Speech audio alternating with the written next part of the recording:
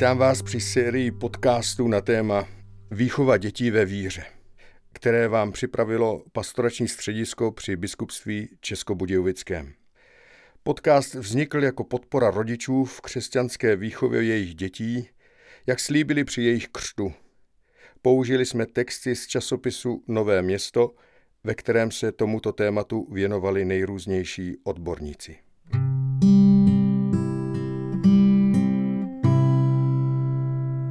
16. díl je vzat z časopisu Nové město číslo 4 lomeno 2015 a je nazvaný Úloha Otce. Nad posláním Otce a nad významem jeho aktivní přítomnosti v rodině se zamýšlíme spolu s psychologem Janem Čapkem, otcem čtyř dětí. Papež František ve své katechezi uvádí, Absence otcovské postavy v životě dětí a mládeže způsobuje mezery a rány, které mohou být i velmi závažné. Deviace dětí a dospívajících lze skutečně v mnoha případech vysvětlit tímto nedostatkem, touto nouzí o příklady a spolehlivé průvodce jejich každodenním životem, nedostatkem blízkosti, nedostatkem otcovské lásky. Dojem mnoha mladých, že jsou sirotky, je hlubší, než si myslíme. Odborníci potvrzují, jak je v určitém vývojovém období pro děti, jak pro chlapce, tak pro dívky, důležité mít možnost prožít čas pouze s otcem. Během vývoje k dospělosti jsou období, kdy dítě potřebuje víc nepodmíněnou náruč matky a kontakty s otcem nějak zvlášť nevnímá a nevyhledává. Dokonce může být vůči otci nastavené negativisticky. V jiných obdobích naopak dítě potřebuje pevnou, laskavou přítomnost otce, kdežto matku může docela dobře postrádat. Případně její matka irituje tak, že se drží mimo její dosah.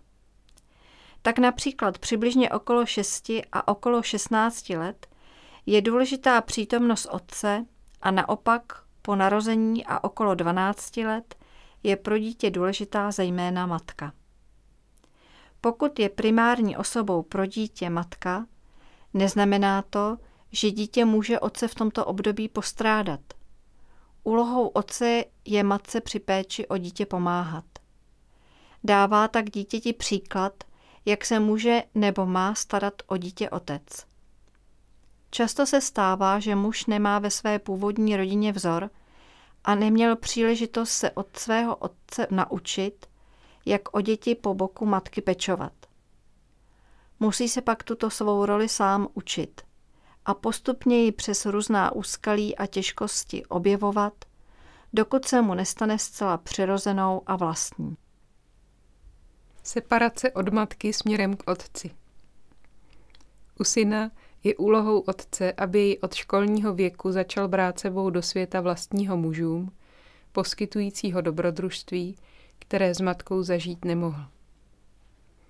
Otec učí syna bojovat, vzdorovat nepříznivým okolnostem, soupeřit ve sportu, dobývat pozice či vypořádat se s hierarchií v sociální skupině.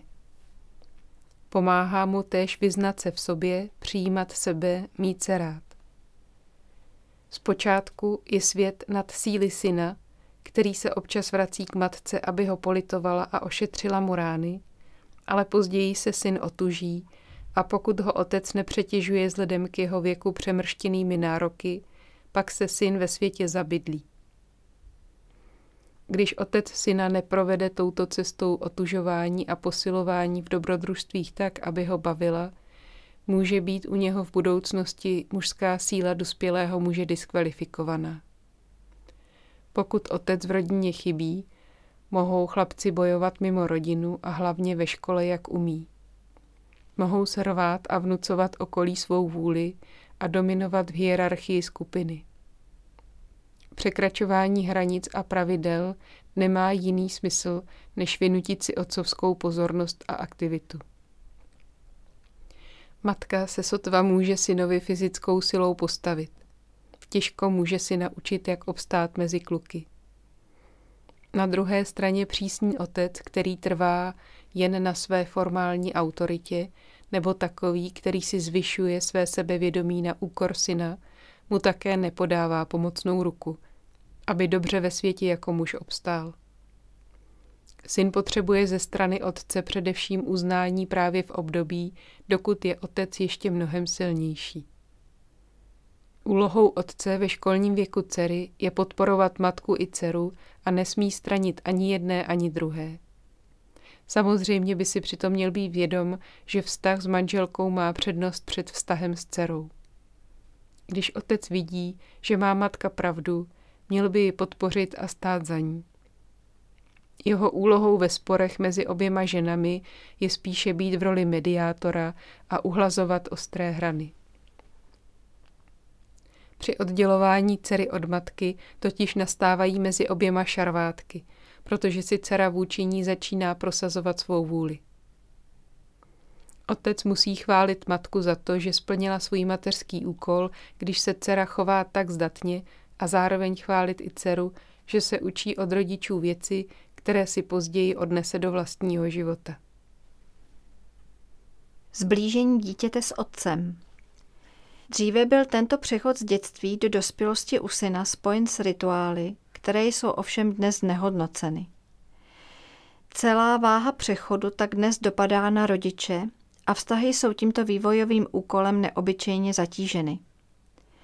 Naštěstí dnes znovu tyto rituály přináší hnutí mužské spirituality, zaměřené na posílení vztahu mezi otcem a synem, inspirované Richardem Rohrem.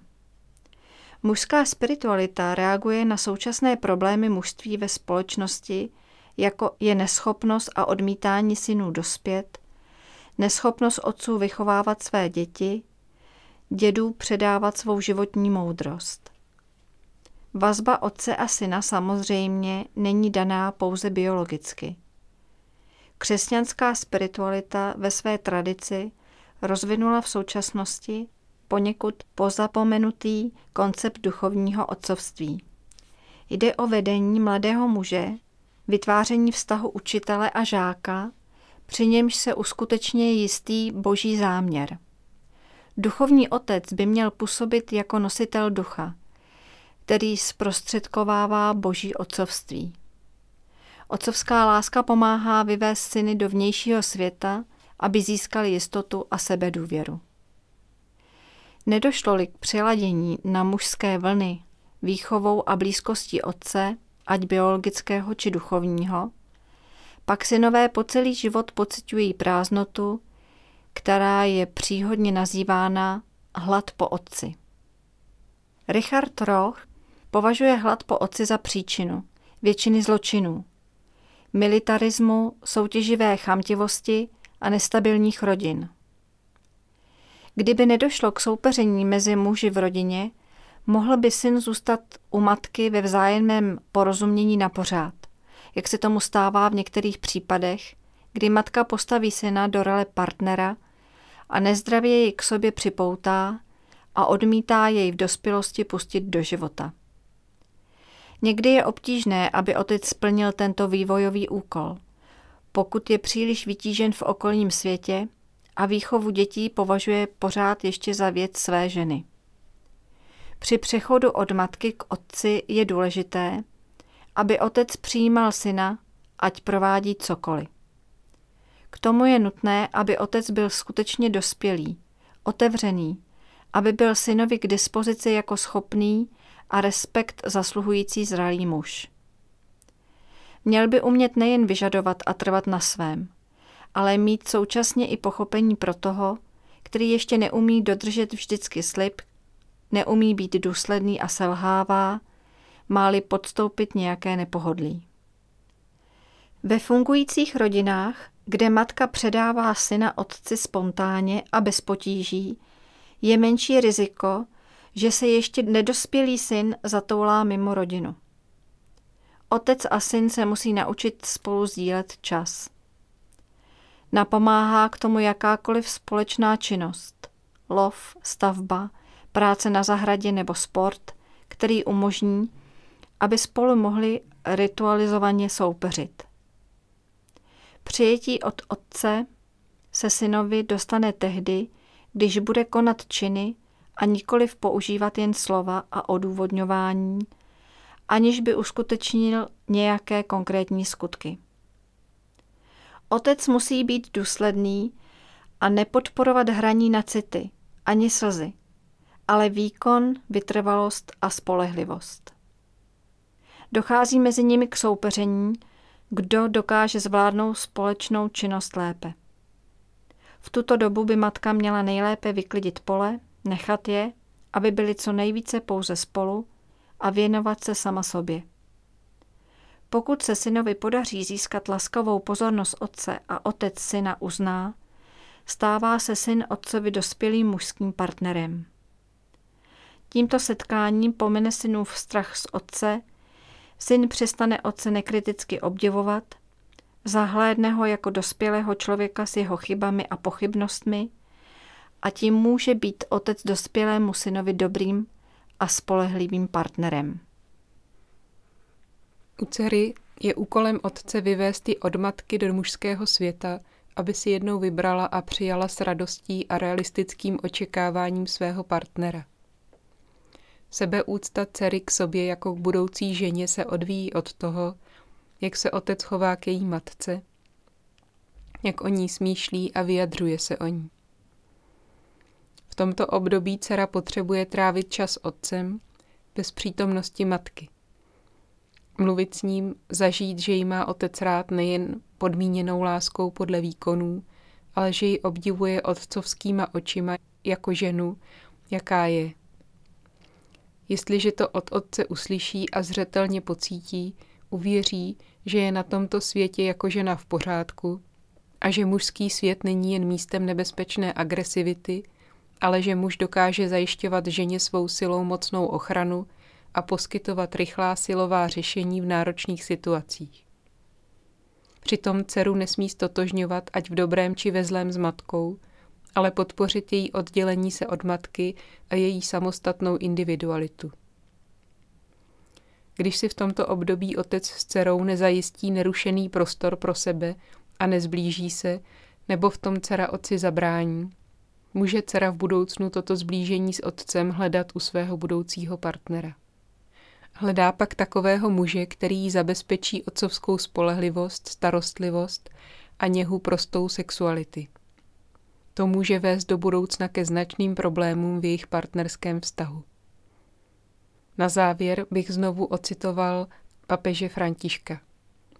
Děti potřebují nalézt otce, který je očekává, když se vracejí po svých stroskotáních. Dělají sice všechno, aby to nemuseli připustit a dát najevo, ale potřebují jej. A pokud jej nenajdou, způsobí jim to zranění, která se hojí velmi obtížně. Pokud otec v rodině chybí, není ještě nic ztraceno. Může jej dítěti nahradit otcovská figura jako dědeček, otčím, učitel, kněz, trenér či jiný mužský vzor. Důležité je, aby dítě od něho dostalo přesně to, co v příslušném období vyhledává a potřebuje. Dnes jsme slyšeli 16. díl z cyklu Výchova dětí ve víře s názvem Úloha otce. Příště si řekneme něco o vztahu prarodičů a vnoučat. you